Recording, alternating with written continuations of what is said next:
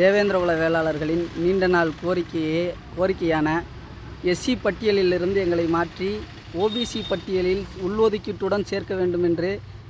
வளரும் தமிழகம் கட்சியினுடைய நிறுவனத் தலைவர் பாலை பட்டாபிராமன் அவர்களினுடைய அறிவுறுத்தலின் பேரிலும் வளரும் தமிழகம் கட்சியினுடைய மாநில பொருளாளர் அண்ணன் ஆரோக்கிய செல்வம் அவர்களின் வழிகாட்டுதலின் பேரிலும் இன்று திருவாரூர் சட்டமன்ற தொகுதியினுடைய சட்டமன்ற உறுப்பினர்